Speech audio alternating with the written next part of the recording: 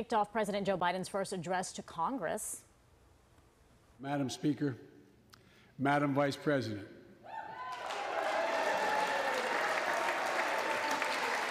no president has ever said those words from this podium. No president has ever said those words. And it's about time.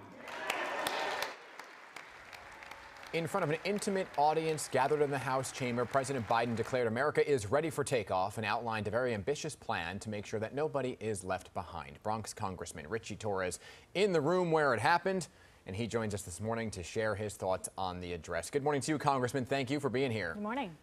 It's an honor to be here.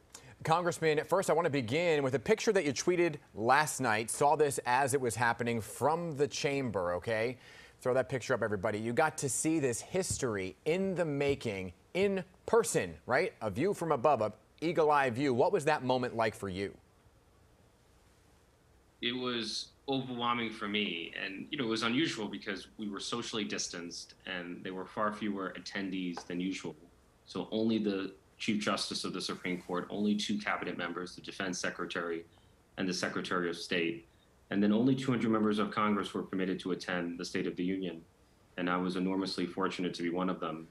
And I felt like I was witnessing the emergence of a 21st century FDR. It was an inspirational mm. speech. Wow, yeah, only 200 people. Usually it's around 1,000 people in the chamber. Now, last we spoke with you talking about being in that chamber, you said it, you were scared, obviously, because that's when we saw the riots break out there. And, and I want to ask you, what was it like being back there this time, especially knowing what you had experienced before?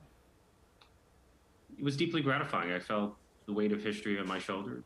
And, you know, I'll echo the sentiment of the president himself. America is on the move again. You know, he's making the most comprehensive investments um, that we've seen in more than a half a century. And my view is, and he spoke briefly about withdrawing troops from Afghanistan. But my view is if we can, you know, if we can spend trillions of dollars on wars in the Middle East, then why can't we invest trillions of dollars here at home mm. in our own people, in our own infrastructure? And, and that's the foundation that the president's laying. Yeah, and, and, I just think for you also to think about the history you made when becoming a congressman, being in that room, seeing two women up there on the dais in those two chairs as well. But I do want to get to the speech itself. President Biden presented a very progressive plan to get America and Americans back on their feet. You just talked about some of it, right? That $1.8 trillion price tag which does include increased social programs, a family plan that would extend health care, child care, and education to those who can't afford it, which would then be paid by tax increases on the wealthy. So some of that did not sit well with Republicans. I want to play a snippet of their reaction and get your take.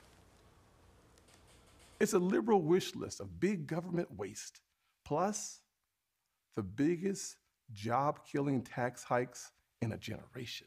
Experts say when all is said and done, it would lower wages of the average American worker and shrink our economy.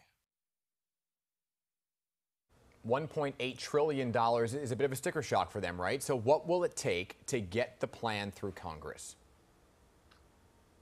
Well, I would advocate putting the plan through reconciliation, which is exempt from the filibuster. But, you know, America's been plagued by decades of disinvestment. You know, a country that refuses to invest in itself is planting the seeds of its own decline. Investment in the United States has fallen by 40% uh, since the 1960s. And so we have to invest in our infrastructure in order to be productive and innovative at home and competitive abroad. We have to strengthen our families with greater access to childcare and paid leave. I'm particularly excited about the president's proposal for expanding education beyond the traditional K to 12 model. He's proposing uh, pre-K for every three-year-old, every four-year-old, as well as two years of free college that would enable people to either obtain a college degree or a certification. Um, and then he's putting a premium on supporting our children, um, whether it's expanding the child tax credit, which would cut child poverty in half, or early education. You know, mm-hmm. lifting millions of children out of poverty and exposing them to early childhood education will have benefits that will last a lifetime. It will change the trajectory of millions of children in America. Yeah, there's a lot of investment that he talked about. I also want to discuss some of the other protections that he mentioned, including um, gun legislation. He talked about background checks, assault weapons bans, ghost guns, um, and getting guns out of the hands of abusers. But he also talked about uh, transgender rights, police reforms. Let's take a listen to some of what we heard. We've all seen the knee of injustice on the neck of black Americans. Now's our opportunity to make some real progress. The vast majority of men and women wearing a uniform and a badge serve our communities and they serve them honorably. I know them. I know they want. So specifically, I want to ask you, what is the likelihood that the George Floyd Justice and Policing Act will get fast-tracked and passed by the time uh, the one-year anniversary of his death, which is, what, less than a month from now? Well, I know that we are in the process of negotiating the George Floyd Justice and Policing Act with um, Republican Senator Tim Scott in the Senate.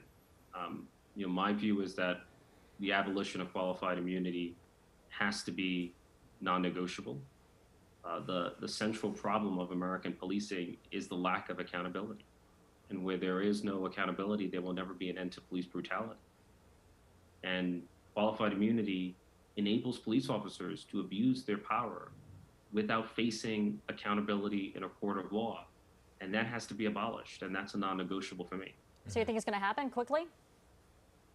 Um, you, we could pass some version of police reform, but there's an attempt by the Republicans in the Senate to remove the qualified immunity provision, and I strongly oppose those attempts. That's Yeah. a non negotiable. And we keep talking I, about I that. will not vote for a legislation that fails to abolish qualified immunity. Understood. We keep talking about that term, qualified immunity, here on the PIX11 Morning News.